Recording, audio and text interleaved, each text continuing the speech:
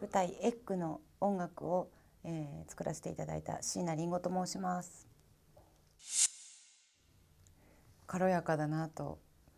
思いますよね。本当に。ダジャレダジャレダジャレと思って。ダジャレがいっぱいダジャレっておっしゃってますけどもう言葉遊びとんでもないライムとか声出して笑いながらねこれどうすんだって悩みましたよ。もう本当に高性能な方って何をやってもこうね早いんだなって思いました。めちゃくちゃ早かったですもうまあ、歌われるのにもうその初めから言うことないですし曲にこと結構違う歌い方をしていただきたかったけどもちろんもうそれはあのお渡しした資料で感じ取ってくださってたんでしょうね。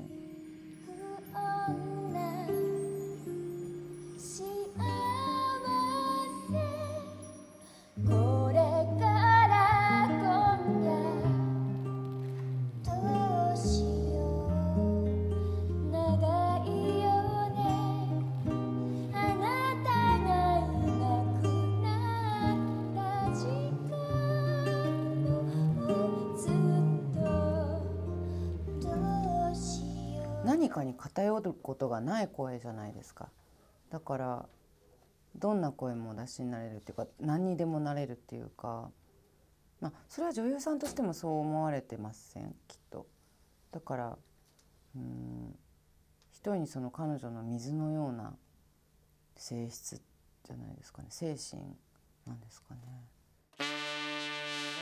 最初野田せ野田先生のご意向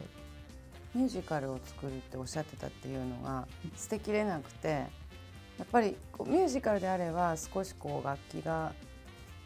うん、演奏してるところにお芝居が乗るとか踊りのシーンがあるとかそういう私の夢ですよね。特に歌ではなくてインストゥルメンタルのそういうシーンがある。でもなんか他のところに作為的に入ることはもうないなと思ったんだけど最後私の好きなラストシーンなんですけどお芝居としてでそこなんかガーンって音楽鳴ったらいいって思ってたっていうそれでだから特にそれ自体には、えーと、先野田先生の発注が具体的にあったってわけじゃないけどこういうのありますみたいに多分持ってきちゃったっていう感じだったと思うんですよね。ドーンって最後に世界と野田先生の書かれたことをあのお芝居がこうつながっていくっていう感じの私はあのユーザーとして見てて印象を受けるからそれをなんかより強調できできたらいいのにっていう当時はそういうふうに願っておりました。なんかあの一番最後カーテンコール用にあとつくこうなってきたあれなんかあのノードマップのテーマ曲にしたいぐらいだね。嬉しいもう いつもね許されるならあのいつもカーテンコールの時使うぐらい。嬉しいです、ね、なんかあのその芝居が終わりましたっていうことには非常に素晴らしい記号って言っちゃいけないですけどもったいない曲、うん、あじゃあそのセルフカバーした方もぜひ聞いてみていただいてまた違うアレンジを、ね、アレンジャー先生、うん、どっちでもぜひ。あ。嬉しい。おめでとうございます。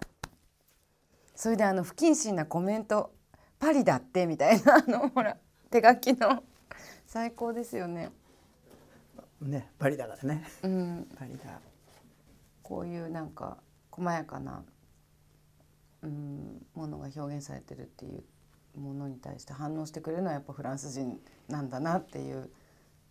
感じはしますけどどうなんでしょうね。どれぐらい分かってどういうふうにねご覧になってるのか、う。んまあ、勝手にそうするけど、フランス人は分からないものに対する理解があるような気がする。自分が分からないからってこうパバサッと来て捨てんじゃなくてわからない、うん、面白いなってこれこれ別にまあ国籍じゃなの違いだけじゃなくて日本の人だってわからわからないと嫌う人っているじゃない。うん、うん、自分、でもわからないと面白いななんだろうなって見るのとなんか、うん、その分で言うとフランスはそっち側よりと勝手に想像こう想像してる。そうだといいですね。ねこれはぜひ生でえー、ご覧いただきたいお芝居です。よろしければどうぞ。